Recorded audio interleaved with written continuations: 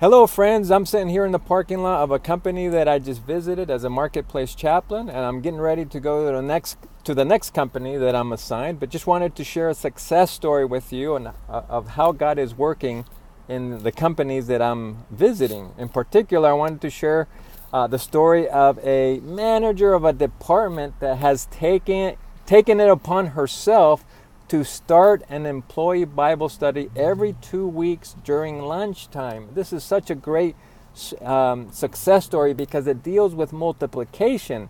I'm no longer the only one that is ministering, but now this manager of her department is using her platform, her influence, her credibility to begin pouring into the lives of others during lunchtime uh, in one of the hardest to reach places in society, which is the workplace, where people spend the majority of their lives. She's taking it upon herself to pour into the lives of others. There's discipleship happening in the workplace now.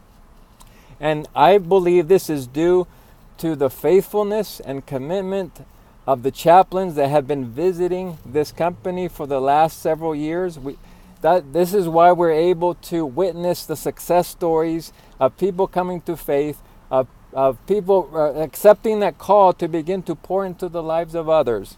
You know, some water, some plant, but we recognize that it's God that gives the increase, and for this we give Him glory and we give Him honor.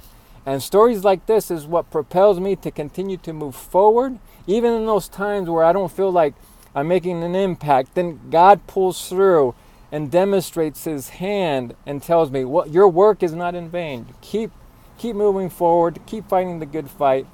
And I just want to share this story with you. God bless and have a great weekend.